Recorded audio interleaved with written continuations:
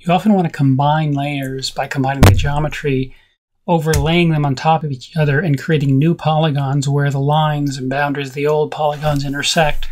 We show you here an example where we have this lakes buffer and this roads buffer. Now these are multi-part to single part converted features. We also have you add a column to these to the attribute table so that you can tell what, what geometry came from what. We have you to the lakes add this inside lake buffer, and to the roads, we have you add this inside road buffer. Now we do that because when you do the combination, you can't tell where a polygon came from, that is, was in the lakes or in the roads or in both. And this is generally the case. So we have you add this inside road buff and inside lake buff before you do the union. Now you can find the union by searching for it here and it'll list the union, or you can know that it's in the analysis, tools, toolboxes, analysis tools, the overlay, here in the union. Double left click and it's pretty straightforward. You just list the features or the feature layers you want to overlay and give it an output and tell it to run.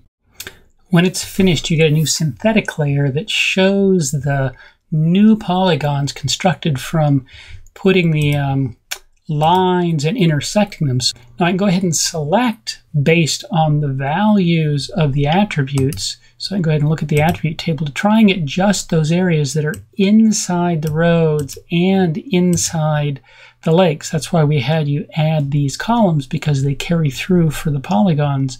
And all the polygons, although they might be multi-part, have the same set of attributes for any one multi-part shape. They're all going to be either in lakes, in roads, or not, or in some combination. So here I'm going to go ahead then and do my selection by attributes.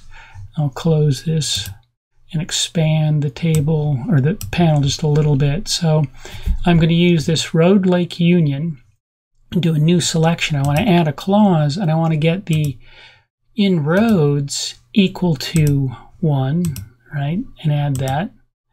And then I'm going to add a clause where I want the in lakes equal to 1. That's why I added these columns in the original one, because these are in roads and these are in lakes are the things I want, the pieces or polygons I want. Now I can take a look once I execute that accept that selection and see that, yeah, I'm getting these pieces inside. And so now I want to right click and down below go to the data, which is off the screen, and export features and export these to a new place. So I'm going to export these to just, I'll call these my output. All right. Canned area one, something like that. And so run and now I have a new data layer that's my these candidate area 1, that these are the subset I want. So again, union, selection, and export pulls these areas out.